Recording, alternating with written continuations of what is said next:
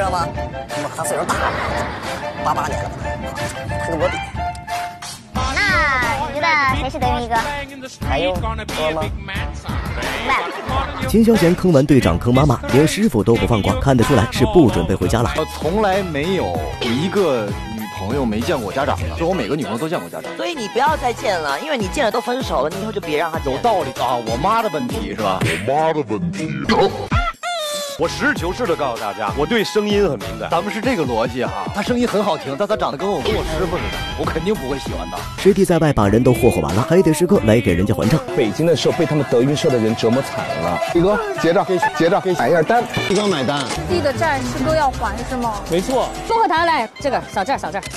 多少钱？扫过了。你要不然这么的，你为了哥哥，你给你给杨迪哥道个歉。李哥，我错了，我错了。要不怎么说你们是母子呢？预测到了儿子会坑自己，所以提前下手了。学相声也是被我妈骗的啊，真假的？真的真的。为什么？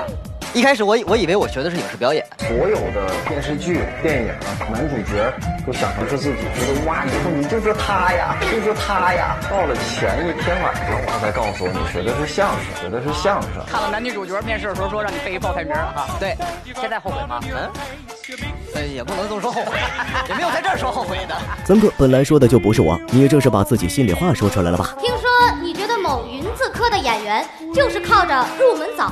资历老在混日子，是这样吗？有点过于严重了这个问题，三哥，我从来没有这么想过你。我说的不是三哥，是烧饼。秦霄贤是他妈的黑粉头子实锤了，不过他能活这么大不容易。他做饭确实难吃啊，太难吃，那不是人吃的。我妈学了可乐鸡翅，活到现在为止，早上可乐鸡翅，中午可乐鸡，晚上可乐鸡，十五天全是可乐鸡翅。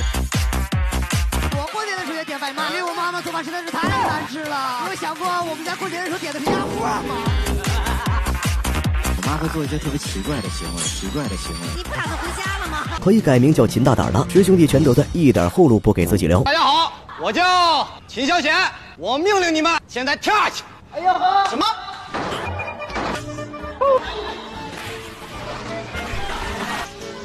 我还跳吗？跳跳。小琴琴能有什么坏心思呢？想看师傅的表情是什么样罢了。这我知道，灵魂提取器啊。我曾想过跟我师傅玩这个，我师傅看书的时候，给我走到后面唰。师傅会不会有那个表情？表情。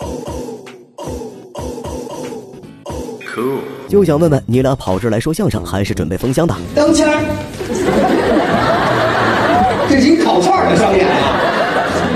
谁？钢签儿啊？钢签儿，对，简称嘛，灵通，灵通，对不对？钢签儿没毛病。钢郭宇，郭德纲一些钢签儿，我叫好几年钢钱儿。